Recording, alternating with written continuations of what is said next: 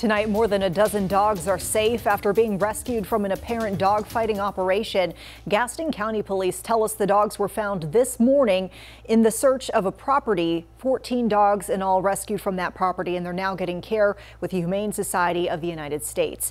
Now, neighbors say they are shocked to learn that this was happening in their community, but authorities say dogfighting is probably more prevalent than you might think what looked to neighbors like a passion for pups. One of the neighbors had asked, Why do you have so many dogs? And the owner's response was, Oh, I breed them and sell them.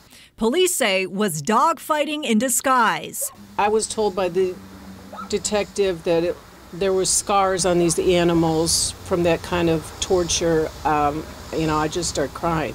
The Humane Society of the United States says it was called in early Wednesday morning to assist Gaston County Police at this home on East 6th Avenue in Gastonia. The organization says it's the site of suspected dogfighting and abuse. It says it found 14 dogs in makeshift cages around the property, the animals bearing scarring and puncture wounds and missing fur. The group says it also found tools used for dogfighting.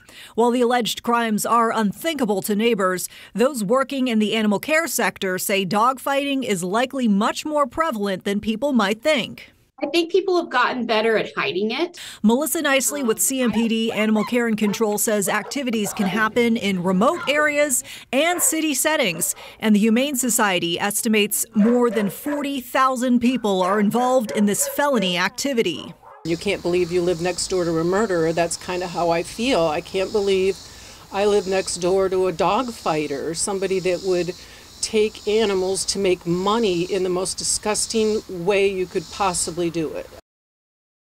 Now, police say they haven't made any arrests yet.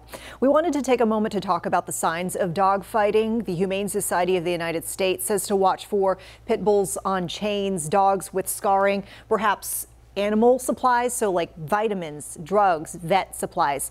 Now, some of the tools that they mentioned here are a bit specialized. We wanted to show you what they could look like. Treadmills, they could be homemade, slat mill style, like you see here.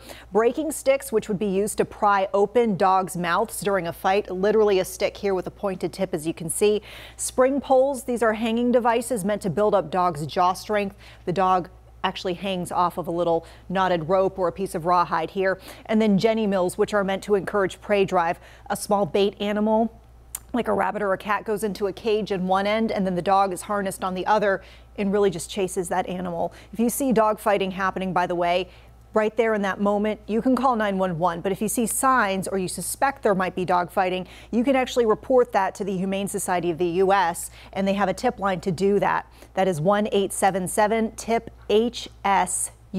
There is a reward of $5,000 if a tip leads to conviction of a dog fighter.